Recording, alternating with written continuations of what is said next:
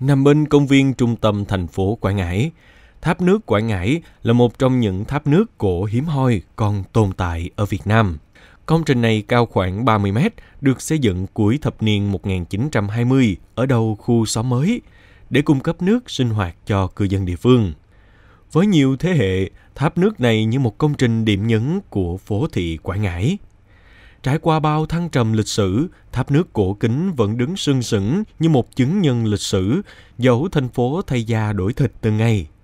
Cuối năm 2023, Ủy ban Nhân dân thành phố Quảng Ngãi quyết định tu sửa tháp nước cổ, biến công trình ngót trăm năm thành một tháp ánh sáng. Tháp nước sẽ được giữ nguyên kiến trúc, đơn vị thi công chỉ sơn sửa, khoác áo mới cho thủy đài cổ này. Chiều ngày 25 tháng 1, ông Trần Đình Trường, trưởng phòng quản lý đô thị thành phố Quảng Ngãi cho biết, việc trùng tu thủy đài sắp hoàn thiện.